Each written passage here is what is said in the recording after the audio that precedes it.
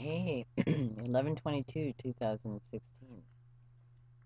Okay, up here in Japan earlier, there was a very bad earthquake. 7.3, 6.9. And aftershocks. Okay, look at this radar here in Australia. Look at that. Oh, when I back up, you can see it looking like that, and when I get closer, it disappears. Oh, there we go. That's beautiful. Look at that.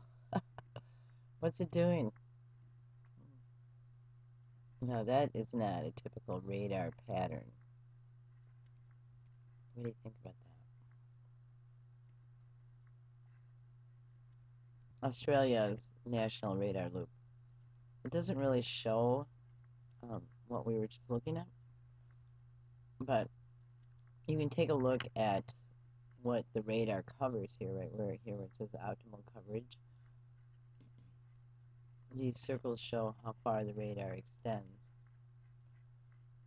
Um, at least this is, that's what this site says. Weather zone. And look at this. It absolutely shows up beautiful.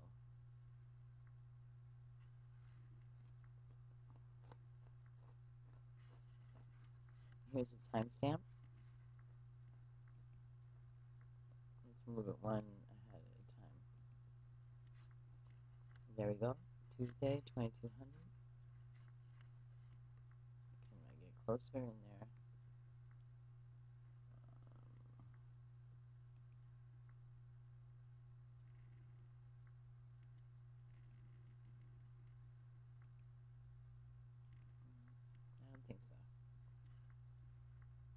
But that's pretty cool looking. Um, of course, it could mean danger.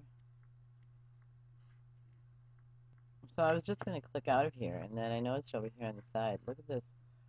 Thunderstorm asthma, like an elephant had his foot on my chest, Melbourne man says. The Melbourne man says he felt like he had an elephant standing on his chest on Monday night when a thunderstorm asthma prompted thousands of people to seek medical advice and you can click on each one of these links here. This one, thunderstorm asthma, two die after Melbourne storm causes a spike in respiratory problems. I've never heard of such a thing. Let's find out what it's about. Okay. Two people died after experiencing respiratory issues during a thunderstorm asthma emergency.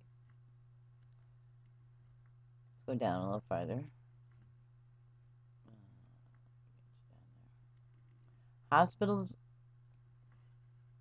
well, I'll, I'll go up here. A severe thunderstorm damaging a number of buildings, felling trees, and spreading pollen. That's what they're blaming it on, spreading pollen. Hospitals were swamped with emergency patients while firefighters and police were called to help paramedics respond to thousands of calls after the conditions caused breathing problems for Victorians. Ambulance Victoria Emergency Operations General Manager Mike Stevenson said two people have died in Melbourne's western suburbs after reporting respiratory sy symptoms. We do know of those two cases, and there will be other people who died in Victoria yesterday as well. Whether or not they're related to this phenomenon, we don't yet know. We'll have to review each incident, and as I say, the fullness of time will understand whether or not they are related. Okay, they're saying that one of the patients waited at least 30 minutes for an ambulance, and then they're saying that could have contributed to the death. But look at this. There were 2,000 calls to Triple O for ambulance between 6 p.m. and 11 p.m., nearly seven times more than usual. We ran out of Ventolin puffers at one point. St. Vincent's Hospital in the inner Melbourne suburb of Fitzroy was overflowing with emergency patients and ran out of Ventolin puffers. The emergency physicians say not only have they never seen anything like this before, they never have seen so many people arrive at one time, all suffering from the same condition, said Kathy, said hospital spokesman woman Kathy Boland. We were considering opening a second emergency department. Um, okay, so let's go down here a little farther. The link for this is right below. Um, Asthma Victoria Chief Executive Robert Auld said people allergic to ryegrass were particularly susceptible to thunderstorm asthma. Particularly this season, if you've got allergic allergic reaction, keep your preventer medication and talk to your doctor about the best way to use your medication. Also, if you start to have symptoms, that's where your blue puffer comes into play. Look at this though. More than 400 children were treated at the Royal Children's Hospital, and more than 60 patients were still waiting to be seen at 8:30. The most seriously injured or sickest children are always seen first, so children with less urgent conditions currently face long times to see doctors. Yeah, well, they were packed. That's why. All right, I decided to Google thunderstorm asthma because I've never heard of it before. And actually, this doctor, Dr. Mercola, I really like. Um, although he does try to sell products which you don't have to buy, but he gives a lot of information, and he's more educated than a lot of doctors. Um, he's an osteopath, so he tries to do things healthy. So let's find out what his article says. okay, so what he's talking about here is a theory the most prominent hypothesis, which is a guess, explaining associations that our pollen grains rupture. Oh, an ad, hold on. Um, so there's, it's just a guess. But also, um, I've done a lot of different research about different things being sprayed into the air.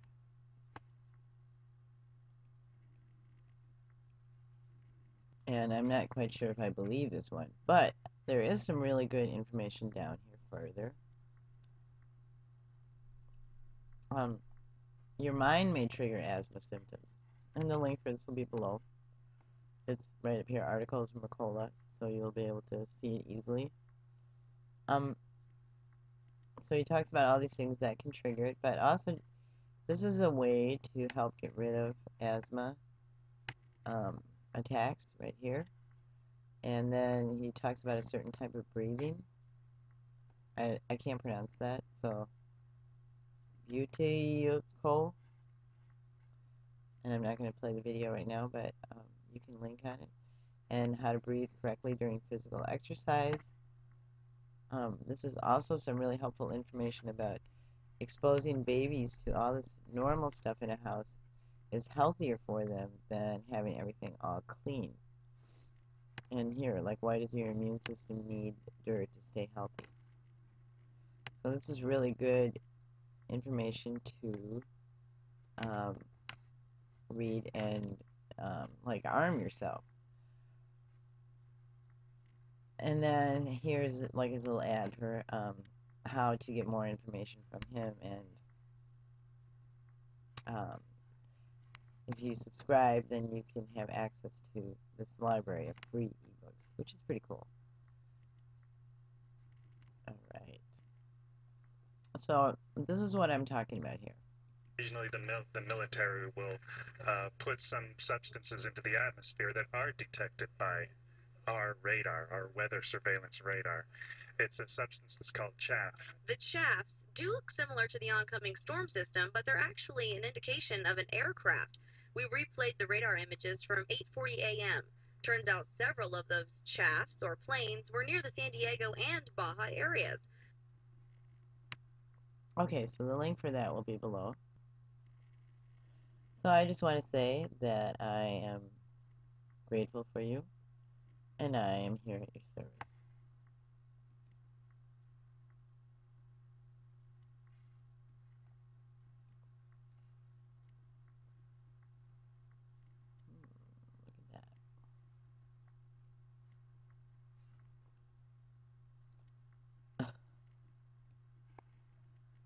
I'm like, where's the timestamp on here? So, Oh, it's right there. Okay.